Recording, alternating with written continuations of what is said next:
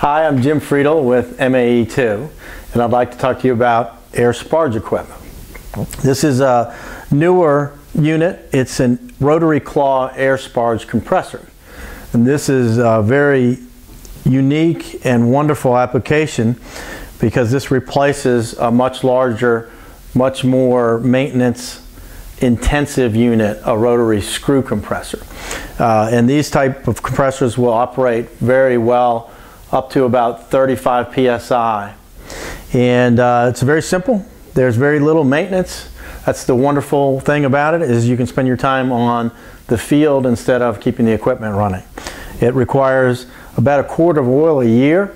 Just simply fill it through this orange cap. You have to, the maintenance basically is just looking at the sight glass and making sure there's oil in it. And that's basically all the maintenance there is to on this.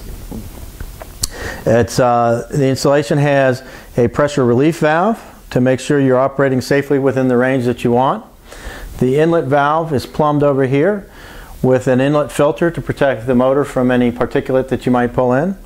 In this case, the inlet is inside of the unit. If you prefer, that can be plumbed to the outside and protected with a safety hood. Everything, like all our installations, is done so that there's easy maintenance.